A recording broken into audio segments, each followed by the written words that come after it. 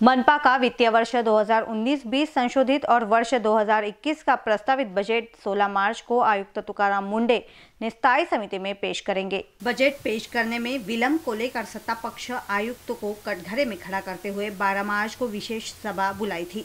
आयुक्त का पत्र मिलने पर विशेष सभा रद्द की गई है। पिछले वर्ष स्थायी समिति सभापति प्रदीप पोहाने ने तीन हज़ार एक सौ सत्तानवे पूर्णांक साठ करोड़ का बजट पेश किया था। बजट और आय व्यय के आंकड़ों में काफ़ी अंतर रह जाने से माना जा रहा है कि आयुक्त का बजट आय व्यय के इर्द गिर्द रहेगा। चालू वित्तीय वर्ष में विविध मंदों से अभी तक मनपा की आय 2000 करोड़ तक पहुँच पाई है। वित्तीय वर्ष समाप्ति तक मुश्किल से 2400 से 2500 करोड़ तक पहुँच पाएगी। यानी स्थायी समिति का बजट और प्रत्यक्ष आय के बीच 700 से 800 करोड़ रुपयों का अंतर है।